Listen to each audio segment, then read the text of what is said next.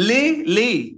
انت جاهز بكرة انك تجيب 100% أو بعد بكرة يعني قصدي بكرة ده الامتحان بقى ما بلا. طيب ليه انت جاهز انك تجيب 100% في الامتحان؟ أول حاجة أول حاجة لأن أنا والله العظيم ما ببالغ لما أقول لك الكلام ده.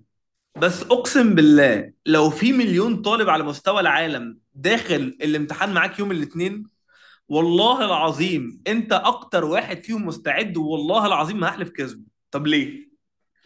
أول حاجة ال classified اللي حضرتك مخلصها دي دي أسئلة ال past paper من 2008 لحد 2023 أو 22 مش متأكد. هل إحنا اكتفينا بده؟ لا. بعد ما خلصنا ال classified رجعنا حلينا ال past paper كلها تاني من 2016 لحد 2024 هل اكتفينا بده؟ لا. بعد ما أنت حليت الحاجات دي بإيدك مرتين قررنا نحلها تاني in terms of revision. ومسكنا كل الأسئلة ال tricky بتاعت ال normal distribution حلناها لوحدها. كل الأسئلة ال tricky بتاعت ال correlation حلناها لوحدها.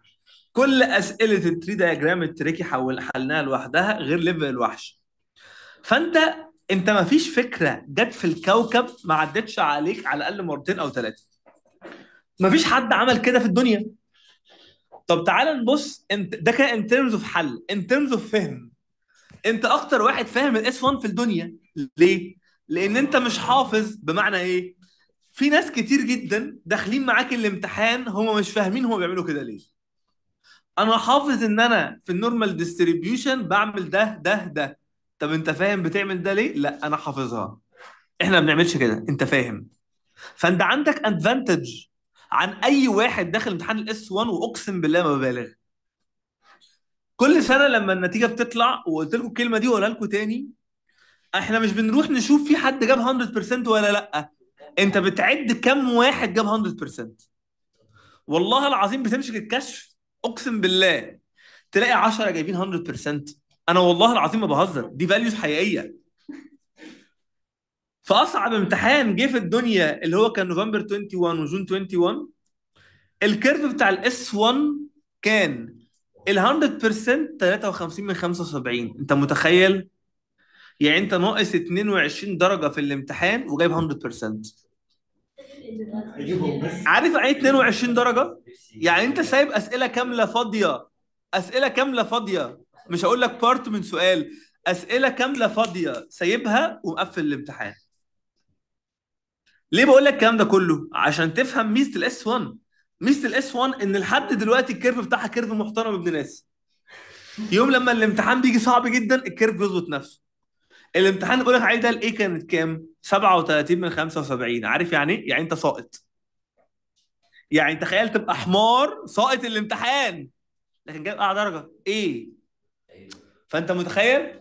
ده June 21 ونوفمبر 21 ده ال curve بتاعهم.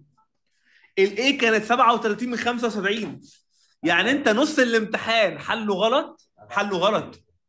وجايب إيه اللي هي أعلى درجة في ال paper ال B كانت كام؟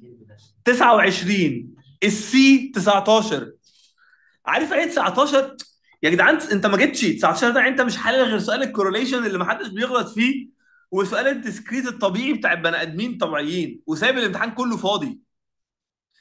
فالكلام ده كله ليه بقوله لك؟ عشان لما تخش الامتحان وتلاقي إن أنت جالك أسئلة خزعبلية ما جاتش ولا مرة في المنهج. اولا لازم تبقى فاهم ثلاث حاجات.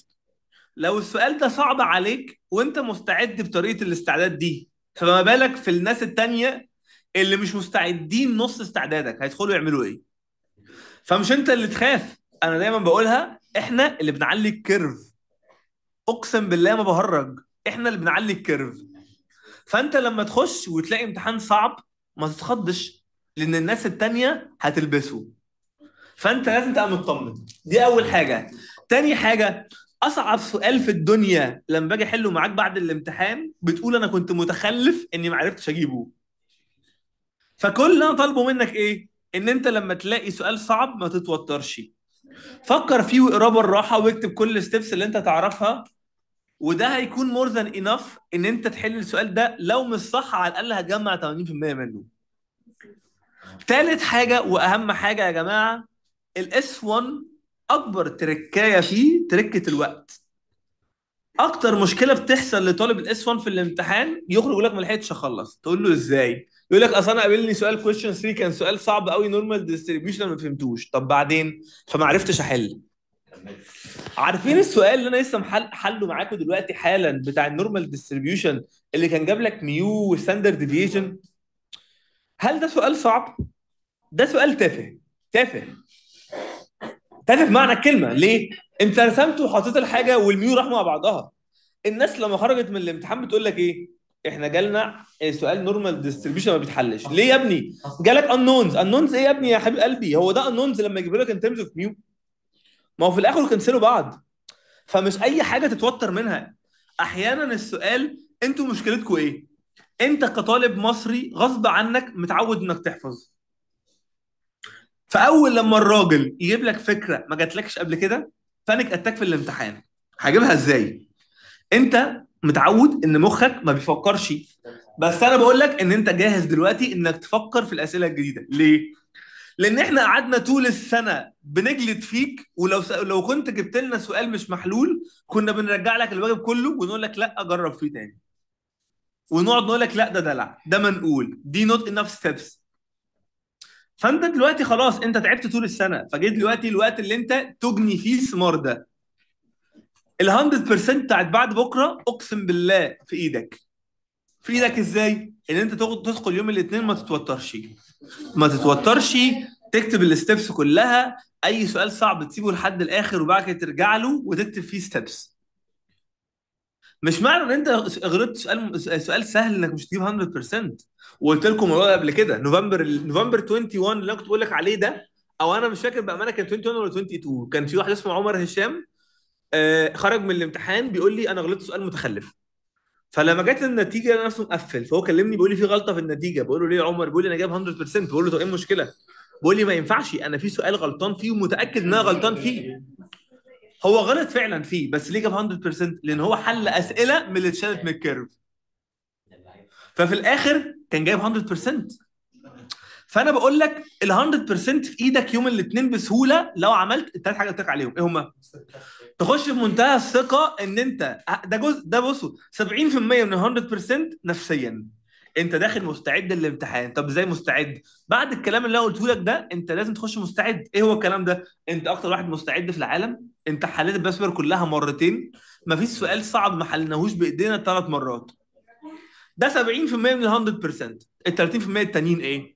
time management جوه الامتحان إن أنت أي سؤال صعب تسيبه لحد الآخر عشان تلحق تخلص الامتحان. والحاجة الثالثه avoid ال miscalculation عشان دي في ال S 1 كارثية. لو غلطت في ال sigma x في ال correlation للأسف هتكرر الامتحان كله. ليه؟ لأن أصلا هو سؤال درجتين. درجة لل step اللي الراجل مديك ال rule بتاعها ودرجة لل final answer فللأسف لو أنت كنت جايب الرقم غلط من A مش هتاخد درجة في B ولا C ولا D ولا E لأن هم كلهم معتمدين على بعض وكل سؤال فيهم عليه درجتين. فإزاي تتأكد إن أنت مش تغلط silly mistakes اكتب كل حاجة بايدك قبل ما تكتبها على ال calculator ما حبكش توفر دلوقتي وقت. أنا بقول لك لو هتضيع وقت في الحاجات دي فدي تستاهل. تكتب كل حاجة تدخلها على ال calculator كويس ما حدش بيجري وراك تقرأ ال calculator كويس قبل ما ت... قبل ما تدوس equal تراجع تاني. لو عندك وقت ترجع تراجع الأسئلة بتاعت ال correlation اللي ممكن نغلط فيها. avoid ال silly mistakes لو عملت الثلاث حاجات دول وجالك أصعب سؤال في الدنيا هتجيب 100% ماشي يا جماعة كده يا جماعة أنا أقدر أقول لكم إن إحنا خلصنا آه، للأسف دي آخر حصة S 1 آه، في.